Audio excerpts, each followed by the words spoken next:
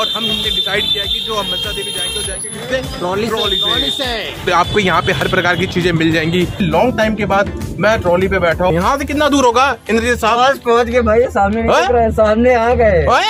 Oh my God डर सा लग रहा है यार। ब्लॉग बनाते हुए और हम अपनी मंदिर तक पहुँचते हुए दोस्तों फाइनली हमने कचौड़ी ऑर्डर कर दी है और आप क्या कहना चाहते हो साहब? कैसा टेस्ट है कचौड़ी का? बढ़िया है और और हम लोग घर के थोड़े से निकले और यहाँ पहुँचे। वो भी बहुत देर से लग रही हम लोगों ने नाश्ता नहीं किया था चाय भी नहीं पिया था और जो हमारे साथ में तमिलनाडु से लोग आए हुए हैं, इन्होंने भी कोई नाश्ता वगैरह नहीं किया था तो यहाँ का जो फ़ेमस कचौड़ी है, वही हम लोग यहाँ पर आए हैं। तो दोस्तों हम खा रहे हैं कचौड़ी और ये हमारे साथ है पीयूष जो हमें अभी रास्ते में मिला था। क्या कहना चाहते हो पीयूष? बहुत घूमते हुए मज़ा आया दोस्तों के साथ। तो दोस्तों खाते हैं कचौड़ी उसके बाद प्लान बनाते हैं। एक्चुअली जो हमारे फ्रेंड है जो तमिलनाडु से बिलोंग करते हैं इनका जो प्लान बना है वो बना है कहाँ का? ऋषिकेश का। हमारा जो प्लान बना कहाँ का बना है साहब अभी तो हम हरिद्वार में घूमने का प्लान है। Okay. और उसके बाद हम जाएँगे ऋषिकेश। तो दोस्तों हमने खा ली है कचौड़ी और यहाँ से हम जा रहे हैं मनसा देवी की तरफ़ और हम हमने डिसाइड किया कि जो हम मनसा देवी जाएँगे तो जाएँगे किससे? ट्रॉली ट्रॉली ट्रॉली से। तो दोस्तों अभी मैंने नया चश्मा लिया है जो मेरा पुराना वाला चश्मा था जो मेरी सिस्टर की जो बेटी है उसने तोड़ दिया था।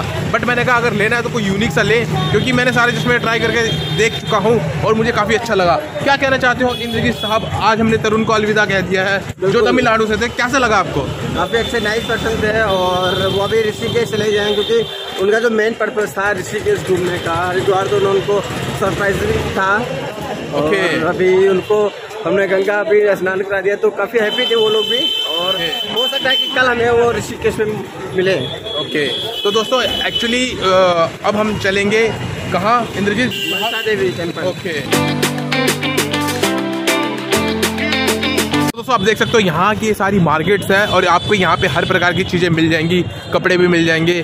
प्लस यहाँ पे आपको जो प्रसाद है, वो भी मिल जाएगा। बट मैं आपको एडवाइस करूँगा, जो प्रसाद है हमेशा आगे से लिया करो। बिकॉज़ यहाँ पे आपको लोग क्या करते ठगने की कोशिश करते हैं। तो फाइनली हम ट्रॉली में बैठ चुके हैं और ये मेरा काफ़ी मतलब आप कह सकते हो फ़र्स्ट एक्सपीरियंस है। काफ़ी लॉन्ग टाइम के बाद मैं ट्रॉली पे बैठा हूँ। क्या बताओ यार मेरे पास वर्ड नहीं है शब्द नहीं है। काफ़ी मज़ा आ रहा है दोस्तों और थोड़ा सा डर भी लग रहा है। दोस्तों आप बिल्कुल मेरे सामने देख सकते हो कितना खूबसूरत कितना प्यारा नज़ारा है यार। मैं शब्दों में बिल्कुल भी बयान नहीं कर सकता। और डर भी लग रहा है और मज़ा भी आ रहा है यार। क्या बताऊँ? ये मेरा काफ़ी मतलब आप कह सकते हो मैच्योर होने के बाद ये मेरा पहला एक्सपीरियंस है जब मैं छोटा हुआ करता था ओह माय गॉड डर सा लग रहा है यार। क्या कहना चाहते हो नितिश साहब? मज़ा आ रहा है? बहुत मज़ा आ रहा है। मेरा ये तीसरी बार है और मैं जब फ़र्स्ट टाइम यहाँ पे आया था तो मेरी हालत टाइट हो गई थी तूफानी के साथ आया था। जैसे मैं यहाँ तक पहुँचा था जैसे नीचे देखते हैं सारा माय मतलब गॉड खराब होने थी। माय गॉड शब्दों में मैं बिल्कुल भी बयान नहीं कर सकता। ओहो! और यहाँ पे जब ट्रॉली पे आप आते हैं, जो नीचे का नज़ारा होता है, एकदम गूगल मैप की तरह दिखता है सारी चीज़ें। अभी तू दिखा पीछे का देख लो साहब, देख लो साहब। डर सा लग रहा है साहब, और मज़ा भी आ रहा है साहब। ये हमारे इंद्रजीत साहब, और ये सामने देख सकते हो ट्रॉली नीचे जाते हुए। और ऐसा फील हो रहा है कि क्या बताएँ साहब, बस, शब्दों में हम बयां कर ही नहीं सकते।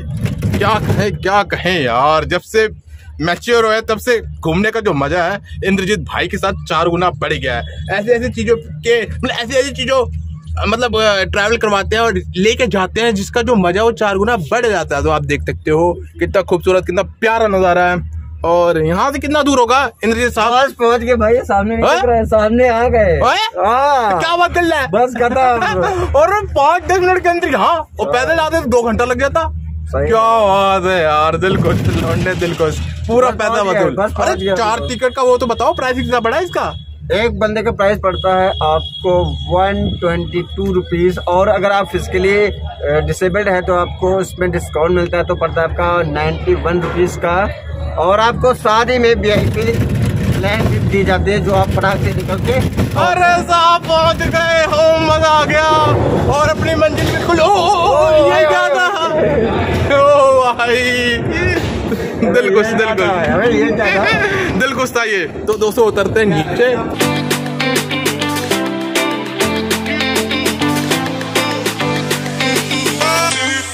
तो दोस्तों फाइनली हमने मनसा देवी मंदिर के जो दर्शन थे वो कंप्लीट कर लिए हैं और हम अपने उड़न खटोला में बैठ चुके हैं और यहाँ से नीचे उतरेंगे और चलेंगे कहाँ?